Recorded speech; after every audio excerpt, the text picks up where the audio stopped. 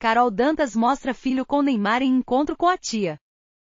Carol Dantas mostra piquenique com o filho de Neymar e seu caçula junto à tia na Europa. A influenciadora digital Carol Dantas revelou um momento super especial junto aos seus dois filhos.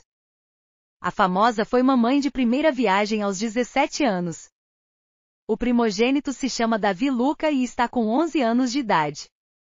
O garoto é fruto do antigo relacionamento de Carol com o jogador de futebol, Neymar Júnior. O craque dos campos foi vendido para o futebol internacional em 2013. Na ocasião, o atleta passou a defender a camisa do clube Barcelona. Após um período, a influenciadora mudou para a cidade espanhola junto ao filho, onde moram até hoje.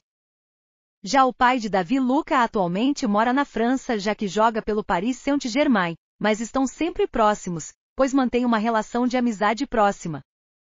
Em 2019, Carol Dantas se casou com o empresário Vinícius Martinez e no mesmo ano, eles se tornaram pais de Valentim, que está com 3 anos de idade. Com a vida na Europa, a influenciadora vê esporadicamente a sua família, que ainda reside no Brasil.